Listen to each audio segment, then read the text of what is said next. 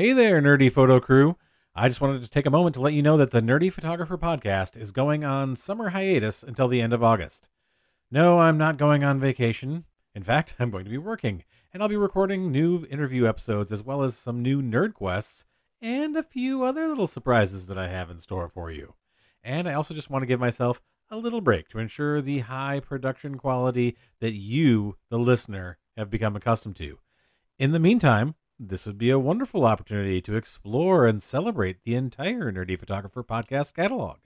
Go listen to some back episodes that you may have missed. Recommend the show to a friend so they can catch up before the new episodes launch. Leave a review. Maybe even buy some merchandise to help support your favorite independent photography podcast. The Nerdy Photographer will also still be active on social media at The Nerdy Photo on TikTok, Instagram, and Twitter. So follow along and get ready for fun new episodes that are on the way to your earholes. And until next time, stay safe and stay nerdy.